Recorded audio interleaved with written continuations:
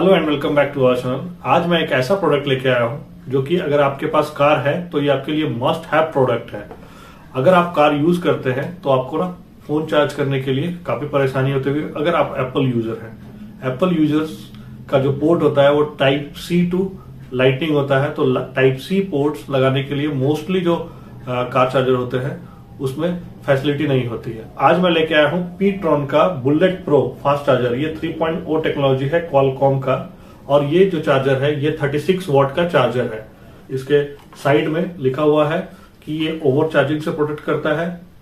है, इसमें दो पोर्ट जो है, वो यूएसबी टाइप ए है, एक पोर्ट यूएसबी टाइप सी है। प्रोडक्ट कुछ इस टाइप का दिखता है ब्लैक कलर का है, और पीट्रॉन की ब्रांडिंग है इसमें। पीछे आप देखेंगे तो क्वालकॉम का बैचिंग है। यानी क्वालकॉम 3.0 है, ये जो टेक्नोलॉजी है, ये बहुत सारे आपको चार्जर में मिल जाएगा। इसके अलावा और भी प्रोडक्ट मार्केट में अवेलेबल है, इसमें 3.0 का टेक्नोलॉजी है। 3.0 टेक्नोलॉजी एक फास्ट चार्जर का टेक्नोलॉजी होता है, जो कि इसमें प्रोवाइडेड है।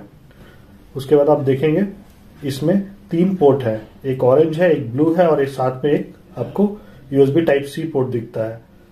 तो ये जो ऑरेंज पोर्ट है, ये फास्ट चार्जर है और ये ब्लू पोर्ट है, ये 3.5 वॉट का चार्जर है। और साथ में जो टाइप सी है, ये भी एक फास्ट चार्जर ही है। मैंने इसे यूज़ किया है लास्ट सिक्स महीने से तो मैं एप्पल का यूज़ करता हूँ। तो एप्पल का प्रोडक्ट्स मैं जब भी एप्पल का फ़ोन यूज़ करता हूँ तो मेरे पास आईफोन 13 है।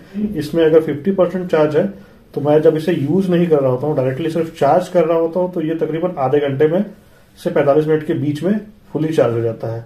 इस पोर्ट से एंड्रॉयड फ़ोन को यूज़ कर चार्ज करने से ये तकरीबन एक घंटे का समय लेता है।